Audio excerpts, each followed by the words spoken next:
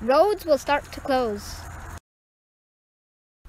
What is the point in having fancy hybrid cars if the roads are no good? Don't you think it's unfair to pay for roads because of distance travelled? Think about the people that live in rural areas. They would have to pay more than the urban motorists. Also, think about food companies transporting their food. There used to be 365 lakes in County Cavan, but now the potholes will become so big there'll be way more. Also, wouldn't you like to have a bridge or a road named after your loved ones that have passed? You can have a road or a bridge, but you'd have to upkeep it.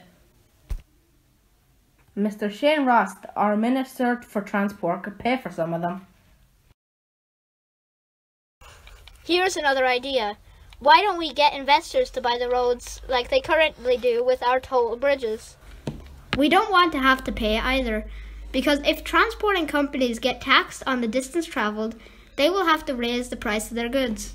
It's unfair for people who have moved to the country to buy a cheaper house, and now, when they travel to the cities, they have an added expense.